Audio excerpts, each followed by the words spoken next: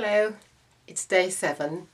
There really isn't much to say except I'm still hanging in there and it's great not to feel bloated up, sluggish and have headaches.